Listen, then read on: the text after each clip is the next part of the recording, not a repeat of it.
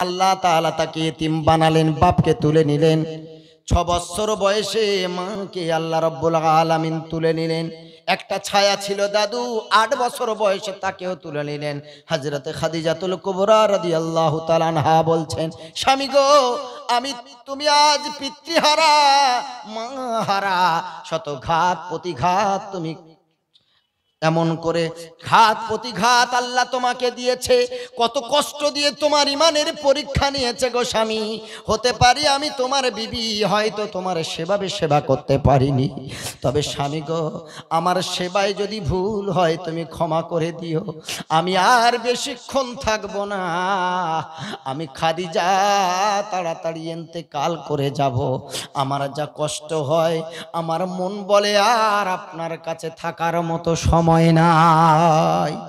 দয়ার নবী, মায়ার নবী, এই কষ্টের জীবনে যখন ইসলামের কালিমার দাওয়াত কেউ গ্রহণ করে না, খাদিজা বলেছে, ওগো স্বামী, কেউ না গ্রহণ করলেও মক্কার। আমি খাদিজা, তোমার কলেমার, তোমার কালিমার পতাকা আমি উঁচু করব। আমি খাদিজা, তোমার কালেমাকে বিশ্বাস করে নিলাম। আমার ভাইরা একদিনের ঘটনা হলো হাজরাতে আয়েশাতুল হুমায়রা রাদিয়াল্লাহু তাআলা আনহা, যিনি কুমারী স্ত্রী ছিলেন, এমন করে আল্লাহ রসুল যাকে কুমারী অবস্থায় বিবাহ করেছেন, হাজরাতে খাদিজাতুল কুবরা রাদিয়াল্লাহু তাআলা আনহার, ওই সপ্তাহটা তার ঘরে নবীজির। এমন করে পালা যেমন সিস্টেম ছিল, কোন সপ্তাহ কোন বিবির কাছে, হাজরাতে আয়সা রাদি আল্লাহ তালা আনহার কাছে ওই সপ্তাহ পড়েছে। হাজরাতে আয়সাতুল হুমায়রা দেখলেন, রাত গভীর রাত। হঠাৎ করে পাশ থেকে নবী আকরাম সাল্লাহ সাল্লাম উঠে যেন কোথায় যায়। হাজরাতে আয়সাতুল হুমায়রার একটু সন্দেহ হলো। তিনি মনে মনে ভাবলেন, বুঝি আমার পাশ থেকে উঠে আমার স্বামী অন্য কোনো বিবির ঘরে যাবে। গুটি গুটি পায়ে হেঁটে যায় নবীজির পিছনে। হাজরাতে আয়সাতুল হুমায়রা তিনি সন্দেহ করে নবীজির পিছনে যায়। আল্লাহর নবী হেঁটে হেঁটে গিয়ে কবরের সামনে গিয়ে ঝড় নইনে কেঁদে কেঁদে দোয়া করলেন খাদিজার জন্য। যখন বাড়ি তিনি ফিরিবেন, দোয়া শেষ করার আগে হাজরাতে আয়সাতুল হুমায়রা দৌড় দিয়ে নবীর আগে ঘরে ঢুকে গেছে। আল্লাহর নবী বুঝতে পেরেছেন, ঘরে ঢুকে যখন আয়সার এই অবস্থা দেখলেন রাদি আল্লাহ তালানহার এই অবস্থা যখন তিনি দেখলেন, বুঝতে পেরেছেন আয়সা তুমি এত হাঁপাও কেন? তোমার পালপিটিশন কেন এত বেড়ে গেছে আয়সা হাজরাতে আয়সাতুল হুমায়রা জানেন, আমি যদি মিথ্যা বলি, তবে নবীজির কাছে আল্লাহ রব্বুল আলামিন ওহিমার ফত জানিয়ে দেবেন, মিথ্যার কোনো সুযোগ নাই। হাজরাতে আয়সাতুল হুমায়রা সত্য কথা বললেন, বলার পরে জিজ্ঞাসা করলেন, হাবিব গো, ও আমার প্রিয়তম স্বামী, আমি তো তোমার কুমারী স্ত্রী, তুমি আমাকে কুমারী হিসেবে বিবাহ করেছ। অনেক ছোট্টবেলায় তোমার ঘরে আমি এসেছি, তোমাকে এত ভালোবেসেছি, তবে স্বামী গো, তুমি কেন খাদিজাকে ভুলতে পারো না? আল্লাহর নবী, দয়ার নবী রহমাতুল্লিল বলে আয়েশা, খাদিজার কথা বলো না রে আয়েশা। তোমরা তো আমার সুখের দিনের বিবি। একটা সময় এমন ছিল, এত কষ্ট ছিল, কাফেরেরা আমাকে অনেক কষ্ট দিয়েছে। পাথর মেরে রক্ত ঘটিয়েছে, নামাজে দাঁড়িয়েছি, গামছা দিয়ে টান মেরেছে। গলার কাছে সাদা চামড়ায় নবীজির গলায় দাগ পড়ে গেছে। উটের নাড়ি ভুড়িগুলো নবীর মাথার উপরে চাপিয়ে দেওয়া হয়েছে।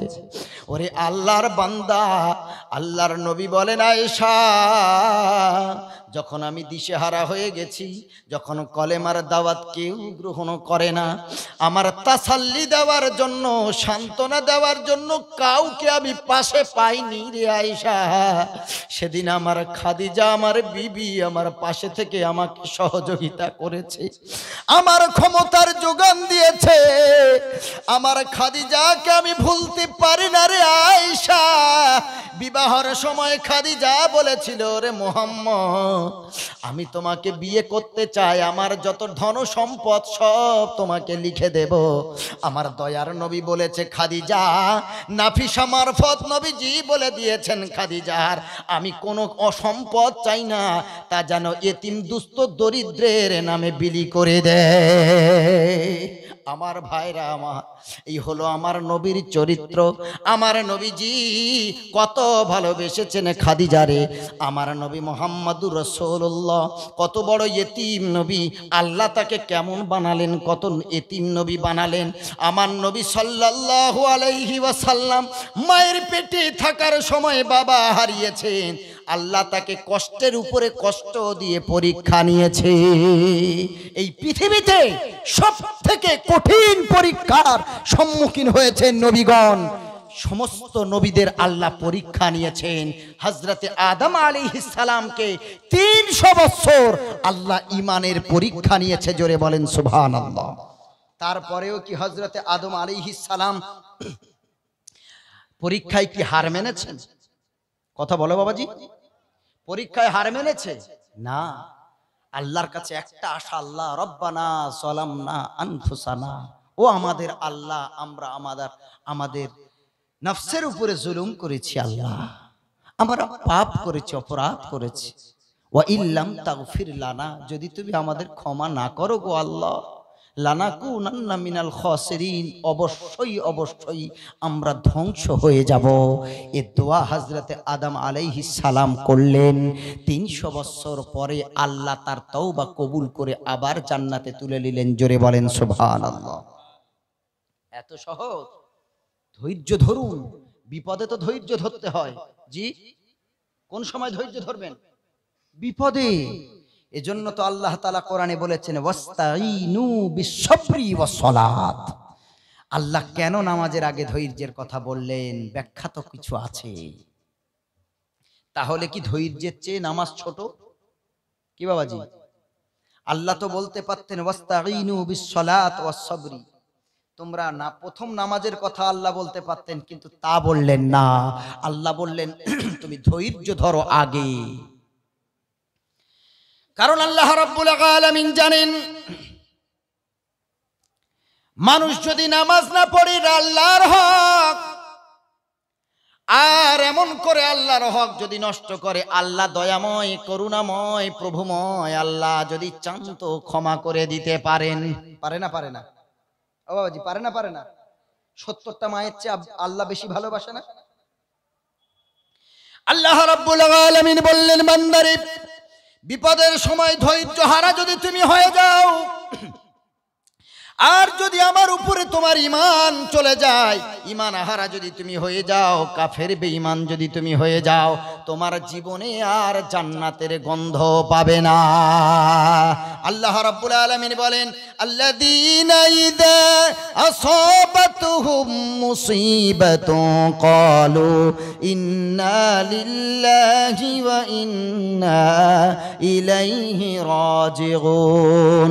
উলাইকা আলাইহিম সালাওয়াতুম মির রাব্বিহিম।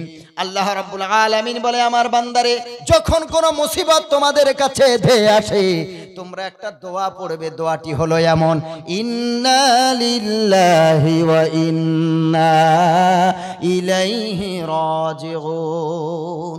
বিপদ আল্লাহ দিলেন, বিপদ উদ্ধারের দোয়াও শিখিয়ে দিলেন, জোরে বলেন, সুবহানাল্লাহ। আমরা জানি শুধু মরে গেলে দোয়া পড়ে, কিন্তু আল্লাহ বললেন, না হর মুসিবত কি দোয়া হ্যায় সমস্ত মুসিবতের দোয়া নিজে আল্লাহ শিখিয়ে দিলেন। যত পৃথিবীর মুসিবত আছে, মুথি মুসিবতের সময় দোয়া পড়ো, উদ্ধার করে দেবে কে জোরে বলেন। জি। তারপরেও যদি না হয় দোয়াও পড়ো ধৈর্য ধর।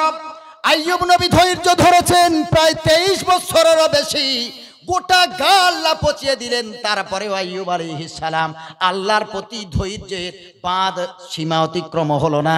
এমন করে ধৈর্য ধারণ করলেন আর মনে মনে বলে, আল্লাহ, আমি দেখতে চাই তোমার বান্দাকে তুমি আরও কত পরীক্ষা নিতে চাও? শেষে কে সুস্থ করেছিলেন? আইয়ুব নবীকে? কোন ডাক্তার? কোন ওষুধ খেতে হয়েছিল? সুবহানাল্লাহ। গাছের একটা পাতাও খসে পড়ে না। আমার দয়ার আল্লাহর হুকুম বিনে জোরে বলেন, সুবহানাল্লাহ। যা হয় আল্লাহর পক্ষ হতে হয়। তাহলে সে আল্লাহকে ভুলছি কি করে?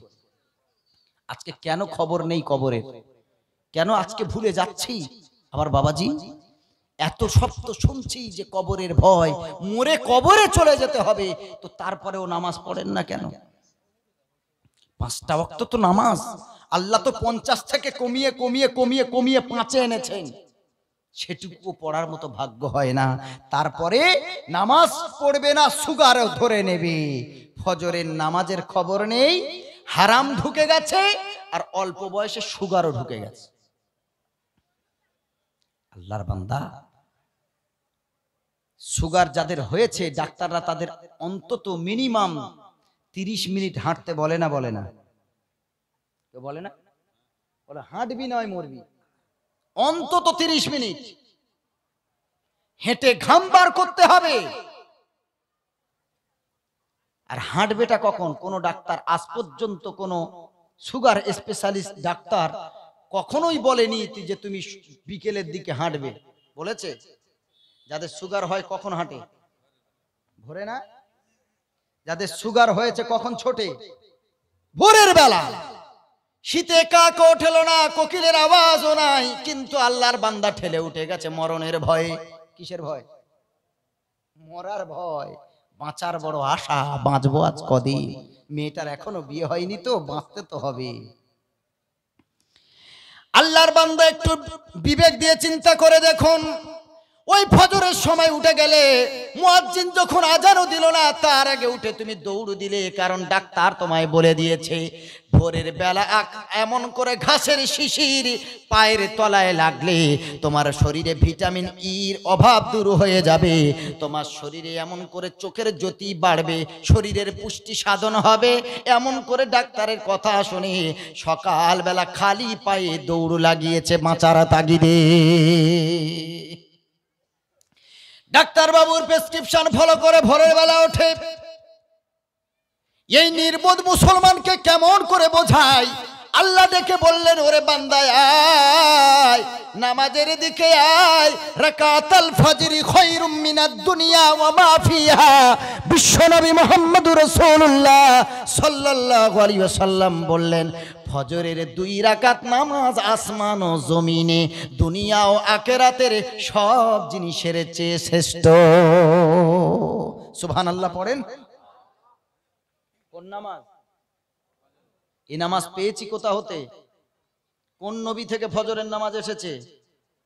জানা আছে ইতিহাস। আলহামদুলিল্লাহ, কত অ্যাডভান্স দেখেন আমার বাবাজি। তার মানে এলাকায় শিক্ষিত মানুষ কিছু আছে। কোন সময় পড়েছিলেন? না, ওটা নয়, এটা তারও আগে। আরাফের একটি আয়াত আছে, ওয়া ইজ আখাযা রাব্বুকা মিন বানি যুহুরিহিম যুররিয়াতাহুম ওয়া আশহাদাহুম আলা আনফুসিহিম আলাস্তু বিরাব্বিকুম? ক্বালু বালা শাহিদনা আন তাকুলু ইয়াউমাল কিয়ামাতি ইন্না কুন্না আন হাযা গাফিলিন। আয়াতের ব্যাখ্যা এসেছে। লম্বা ঘটনা, ওদিক গেলে অন্য লাইন হয়ে যাবে ইনশাআল্লাহ। তবে এইটুকু জেনে রাখুন, ফজরের নামাজ এসেছে আদম আলাইহিস সালাম থেকে। আমাদের নবী আসার পূর্ব পর্যন্ত সব নবীদের উপরে ফজরের নামাজ ছিল, জোরে বলেন সুবহানাল্লাহ। সেই ফজরে উঠবো না তো রোগ আমাদের হবে না, কার হবে বাবাজি? কোন গরুর সুগার হয়েছে আজ পর্যন্ত? ও আব্বাজান হ্যাঁ? কোন গরুর থাইরয়েড হয়েছে? কোন হাঁস মুরগির হয়েছে? আল্লাহ আশরাফুল মাখলুকাত বালালেন সৃষ্টির সেরা বললেন। এই বান্দা যে সৃষ্টির সেরা, তাকে সেরা বানিয়েছে, তার বিনিময় আমার আল্লাহকে কিছু দেয় না, নামাজ পড়ে না। সেরা যদি আল্লাহ গরুকে বানাতেন, ছাগলকে বানাতেন, শুকরকে বানাতেন, ওদের না বানিয়ে ওরা আল্লাহর তসবি আদায় করে বলুন সুবহান আল্লাহ ওরা সেরা হয়নি, তারপরেও আল্লাহ নামের কি করে? তসবি আদায় করে, পৃথিবীর যা কিছু আছে সব আল্লাহর তসবি আদায় করে। ওলা কিল্লা তাশউরুন। আল্লাহ বলল, বান্দা, তোরা বুঝতে পারিস না। তোরা তা জানতে পারিস না। সে ক্ষমতা তোদের দেওয়া হয়নি। আমার ভাইরা এজন্য করে আল্লাহ আমাদের সেরা বানালেন। পরীক্ষা নেওয়ার জন্য কর্মে শ্রেষ্ঠ করা হয়। আজকে আল্লাহ আমাদের নিয়ামাত দিলেন নিয়ামাত দিলেন নিয়ামাত দিলেন। কেমন নিয়ামত আল্লাহ দিলেন? তিন বেলা খাওয়ার আল্লাহ ব্যবস্থা করেছেন, কবেলা বলেন? কবেলা? সকালের পান্তা দিয়েছেন আল্লাহ। সকালের গরম পরোটা, লুচি দিয়েছে আল্লাহ। যদি বলো আল্লাহ কি করে দেয়? আমি খাটি তাই হয়। তোমার বাঁচিয়ে রেখেছে কি? খাটার ক্ষমতা দিয়েছে কে? কি জোরে বলেন? আল্লাহ বলেন এ বান্দা দিন দিয়েছি খাটনি করার জন্য, কামাই করার জন্য, রোজগার করার জন্য। আর আমি আল্লাহ রাত দিয়েছি তোদের শান্তির ঘুমের জন্য। মুসলমান আল্লাহ রাত দিয়েছেন আমাদের শান্তির জন্য, দিন দিয়েছে রোজগার করার জন্য। রোজগারটা, রোজগার কীভাবে করতে হবে?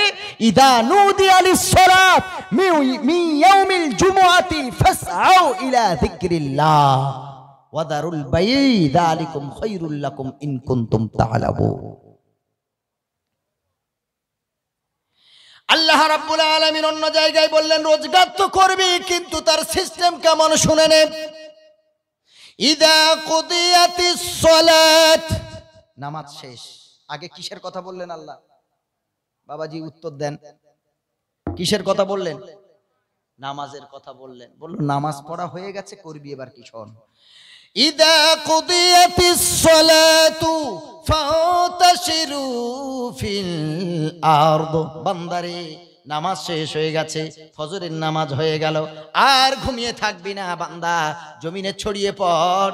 কে তোর বিবি কি খাবে, তোর বাচ্চা কি খাবে একটু চিন্তা কর। আমি আল্লাহ তো তোর জন্য সব রেখেছি, চেষ্টা শুধু তুই কর। তুই চেষ্টা কর, আমি আল্লাহ তোর চেষ্টার বিনিময় দিয়ে দেব। আল্লাহ বললেন, নামাজ পড়ার পরে তুমি রোজগারের দিকে যাও, নামাজ ছেড়ে নয়। আর বললেন, এবার ফান্তাসিরু ফিলারদি ওয়াবতাগু মিন ফাদলিল্লাহ। জমিনে ছড়িয়ে পড়ে আল্লাহর রহমের তালাশ করো, দয়ার তালাশ করো। ওয়াজকুরুল্লাহ, আর কাজের তালাশ করতে করতে আল্লাহর জিকির থেকে ভুলে যেও না। লকডাউনে বহু যুবকের কাজ নাই ফ্যাক্টরি বন্ধ, বাড়িতে বসে আছে, দুই তিন মাস হয়ে গেল, এক দেড় বছর হয়ে গেল। কাজ ভালো হয় না, বাড়িতে ভালো খাওয়া হয় না। চিন্তায় চিন্তায় চিন্তায় বেঘর। আল্লাহ কীভাবে জানিয়ে দিচ্ছেন, বান্দারে, আগে নামাজ পড়, তারপরে তোর রুজির জন্য তুই জমিনে ছড়িয়ে পড়।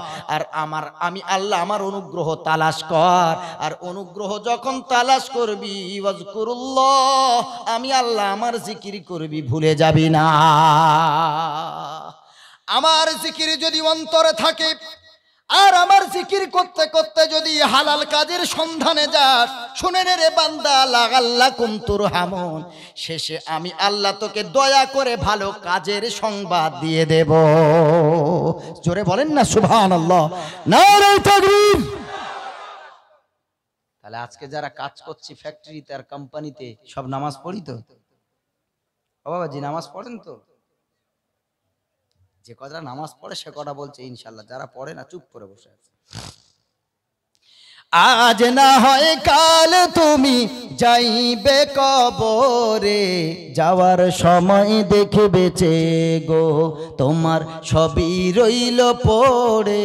যাওয়ার সময় দেখে বেঁচে গো, আজ না হয় কাল তুমি যাইবে কবরে, যাওয়ার সময় দেখে বেঁচে গো, তোমার সবই রইল পড়ে, যাওয়ার সময় দেখে বেঁচে গো।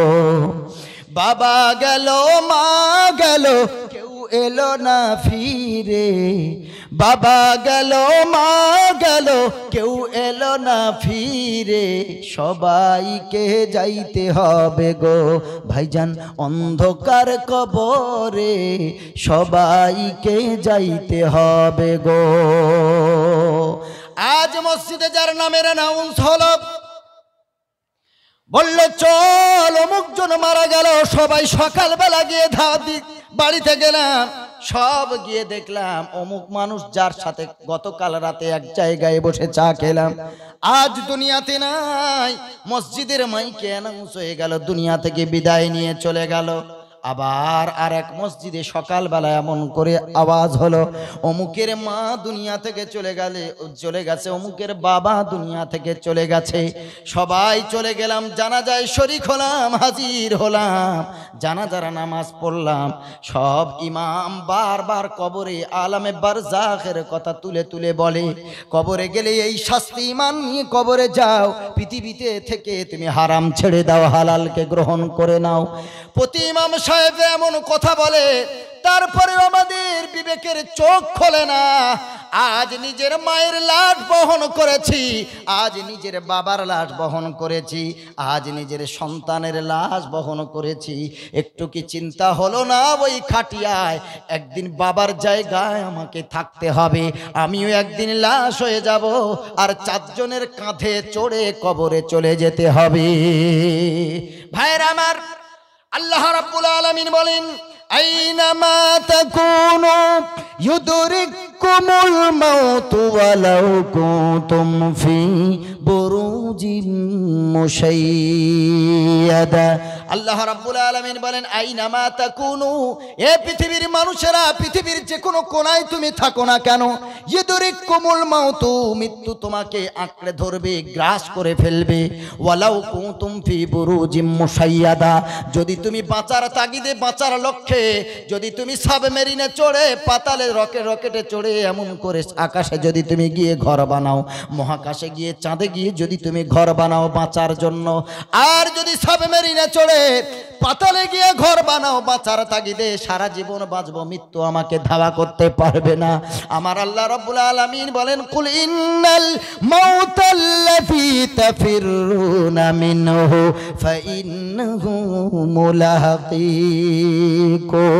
আল্লাহ বলে, আমার বান্দারে, আজ তুমি যৌবনের বড়াই করেছ, টাকার বড়াই করেছ, অহংকার করেছ।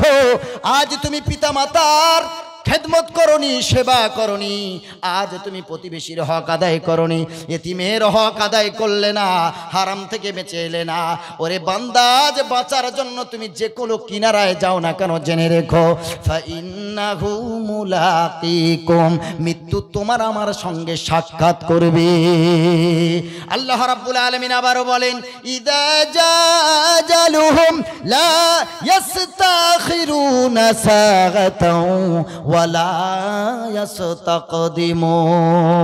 আল্লাহ রাব্বুল আলামিন বলেন ইদা জাজালুহুম যখন তোমাদের ওই সময়টা, যে সময় মৃত্যুটা তোমাদের জন্য আমি নির্ধারিত করে রেখেছি, যখন তোমাদের কাছে চাঁদ চলে আসবে লাস্তাখেরুন এক সেকেন্ডও দেরি হবে না।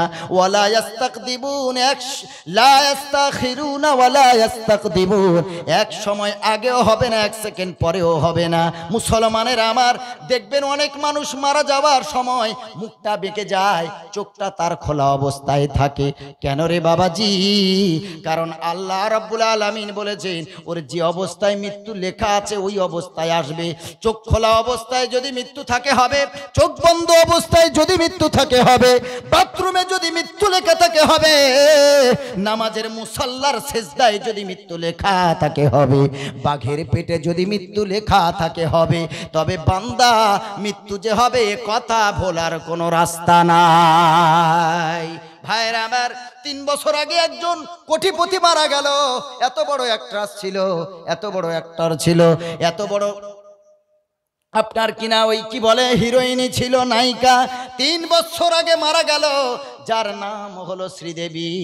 মারা যাওয়ার পরে তার ব্যাংক ব্যালেন্স হিসেব করে দেখা গেল, এক লক্ষ নয়, দুই লক্ষ নয়, তিন লক্ষ নয় দুই শত দশ কোটি টাকার মালিক ছিল।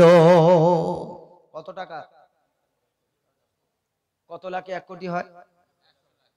কত লাখে? আর এক লাখ কত হাজারে হয়? চিন্তা করুন। দুশত দশ কোটি টাকার মালিক শ্রীদেবী। মৃত্যুটা কোথায় হয়েছিল কেউ বলতে পারবেন? হ্যাঁ? বাথরুমে। ও তো অত বড় ধনী। সারা পৃথিবী তাকিয়ে থাকতো তার রূপের মোহে পড়ে যেত। কোথায় মৃত্যু হলো তার? আজকে টাকার গরম দেখান। হ্যাঁ? আজকে বাড়ির গরম, টাকার গরম দেখান। মৃত্যু কোথায় হবে? আরজিন তামুত এ খোদা ছাড়া পৃথিবীর আর কেউ বলতে পারে না। কোন জায়গায় মৃত্যু হবে?